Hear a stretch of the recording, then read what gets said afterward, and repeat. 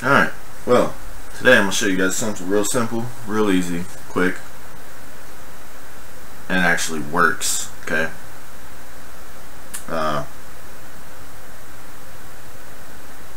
here for the longest time I've been trying to figure out how to turn off Cortana, and could not figure out any kind of way.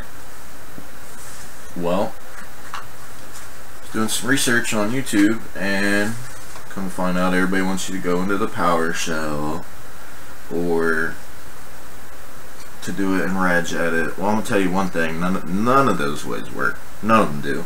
And I haven't seen not one way that turns off Cortana. Okay? So, I was doing is I was thinking, how could I actually turn off Cortana? Why does she keep coming up every time that I end the process? And what could I do to prevent that? Well, Simple. And I'm going to show you guys how to do it right now.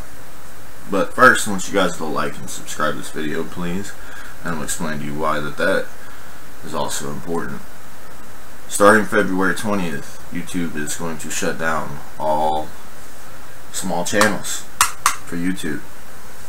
And I'm going to have a link at the end of the video and a link to the video of my video where I'm going to go into and explain people what YouTube is doing to people and what they're going to be doing to the smaller channels. Basically, the smaller channels are going to get destroyed. The bigger channels are going to get big, just like they already are, and they're going to get even bigger.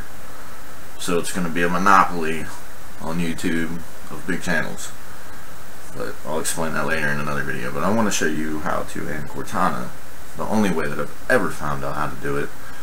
The only way that it actually stops her from eating your process and memory up. So, but here, I'm to show you guys proof that I actually have Cortana on this PC.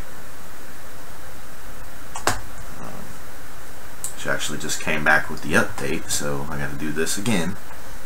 But, yeah, that's the only way to do it right here. First off, to go Task Manager. And I'll show you guys that I do actually have Cortana on this PC, see? Look at her. Eating up my memory, see? Don't like that. Don't want that. In task, right? Oh, she's gone. Oh, well, damn, there she goes again, right? Alright, well. I'll show you guys something here. This, go into Windows, find System Apps, go into System Apps and you'll find Cortana. Okay, now, right click, go to Rename. Put in Delete. So that way, if you ever want to fix it, then you can. Delete. Okay, so now you rename.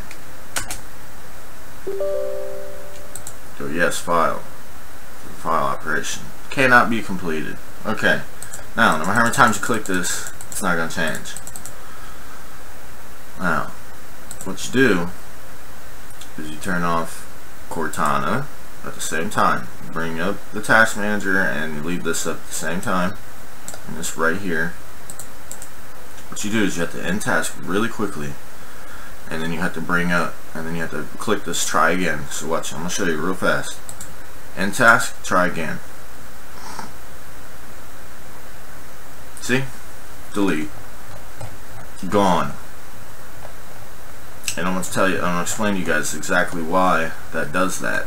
And see, she's not coming back up. See?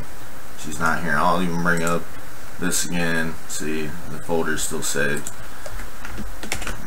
You know, there's definitive proof that she's gone. She's not up no more memory. Nothing. Gone. Done. Bye. And the reason that is is because your PC will sit and index all of your files. And if you rename the file, the index cannot find Cortana's file to reactivate her. So, there you have it. Anyways, please like and subscribe.